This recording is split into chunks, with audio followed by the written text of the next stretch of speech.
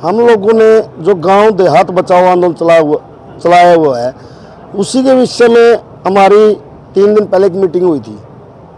चा, चार दिन पहले सॉरी पानीपत के इसराना में। तो वहाँ एक फैसला लिया गया था कि जब तक पंचायती राज एक्ट पूर्ण रूप से लागू नहीं किया जाता तब तक मुख्यमंत्री मंत्री सांसद विधायक सरकार का कोई भी नेता कहीं भी इनका प्रोग्राम होगा तो इनका हम जमकर विरोध करेंगे। कल भी सार मुख्यमंत्री के प्रोग्राम का हम लोगों ने विरोध किया, वहाँ प्रदर्शन किया उनके खिलाफ। और जब तक हर गाँव के बाहर हम एक बोर्ड लगाएँगे अब, जैसे किसान आंदोलन में लगाए गए थे बस जब तक पंचायती राज पूर्ण रूप से लागू नहीं होता और राइट टू रिकॉल को निरस्त नहीं किया जाता, तब तक जे सत्ताधारी पार्टी का कोई भी नेता अगर गाँव के अंदर आता तो उसका बहिष्कार किया जाएगा। अगर वो फिर भी कोई नेता जानबूझकर आता है, गाँव का भाईचारा खराब करता है तो जो नुकसान होगा उसको जिम्मेवार वो नेता होगा। हम लोग जब तक पंचायती राज एक्ट पूर्ण रूप से लागू नहीं करती सरकार, तब तक हमारा संघर्ष जारी रहेगा और हम अपनी लड़ाई ऐसे ही लड़ते रहेंगे। और तीन अप्रैल को इसी के विषय में हम लोगों ने जंतर मंतर पर एक प्रदर्शन रखा है, ताकि हम सेंट्रल गवर्नमेंट को जगाने का काम कर सके कि हरियाणा के अंदर जो हरियाणा सरकार है, खट्टर सरकार, ये ग्रामीण क्षेत्र के लोगों के अधिकारों को हनन करने लग रही है।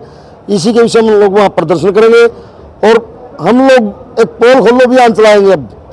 ज़िले वाइज बताएँगे कि सरकार की ऐसी ऐसी गलत नीतियाँ जिनसे आगे आने वाले टाइम में हमारे ग्रामीण समाज का बहुत नुकसान होने वाला है। ये लोग ग्रामीण क्षेत्र को बिल्कुल खत्म करने पर तुले हुए हैं। तानाशाही लाना चाहती है सरकार ये लड़ाई एक तानाशाह के खिलाफ लोकतंत्र को बचाने की लड़ाई है और ये हम लड़ाई लड़ते रहेंगे चाहे कितना भी टाइम तो लगे। सरकार ने कह दिया कि पाँच लाख रुपए दिए जाएँगे तो आप तीस मांग रहे हैं तो कहीं तो मुद्दा कोई पाँच का नहीं कोई दो का नहीं कोई दस का नहीं। जो संविधान के अंदर दिया गया पंचायती राज एक्ट पूर्ण रूप से वो क्यों नहीं लागू करते? ये तो संविधान से छेड़छाड़ करे संविधान से तो ऊपर कुछ नहीं है ना। संविधान के अंदर जो अधिकार दिए गए थे ग्राम पंचायतों के वो इसीलिए दिए गए थे ताकि असली भारत गाँव में बसता है।